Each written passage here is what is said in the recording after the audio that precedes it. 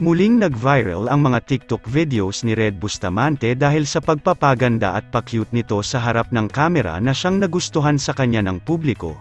Makikita kasi nating sobrang laki na ng kanyang ipinagbago dahil dalaga na ito ngayon matatandaan kasi na nakilala siya noon bilang isa sa mga mahuhusay na child actress ng Kapamilya Network kung saan bata pa lang nakagawa na agad siya ng pangalan sa industriya ng showbiz kagulat-gulat ang malaking transformation ni Red Bustamante dahil kung dati ay hindi natin siya nakikitang nag-aayos sa sarili ngayon ay ibang-iba na ang kanyang pormahan gaya ng pagsusuot ng mga magagandang pananamit. Si Red Bustamante ay dating sikat na child star kinilala nga siya dahil sa pagpapakitang gilas sa pagiging bida or kontrabida.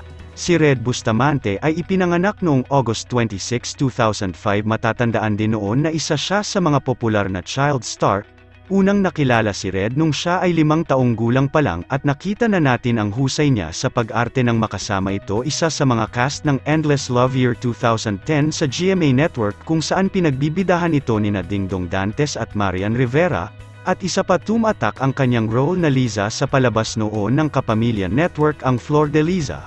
Matapos ang pagsabak sa iba't ibang roles doon na nga nagsimula ang career niya sa pag-arte. Di ba sabi ko dito tayo maglalaro? Hindi naman lang tayo sa labas. Ah, ganun. Lisa! Lisa! Mama!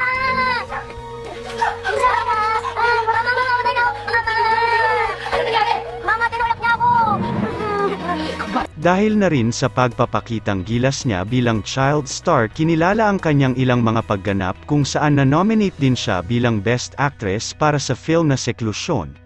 Ngayong hindi man siya nakikita sa harap ng kamera dahil na rin sa tulong ng social media dito sila nagbibigay ng updates ng kanilang buhay ngayon at nakikipagsabayan din sa mga latest trending na mga dance step gaya ngayon ng kanyang pag-viral sa TikTok muli kasi siyang naalala ng publiko lalo na ang mga nagawa niya noong bata pa ito at sa mga larawan niya pinatunayan na malayo-layo na ang kanyang narating sa buhay.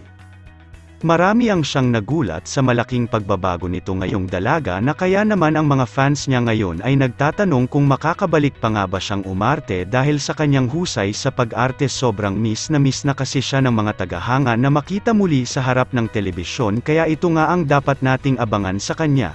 Samantala narito naman ang mga latest TikTok videos niya na nag-viral panoorin natin at sigurado akong magugustuhan mo rin.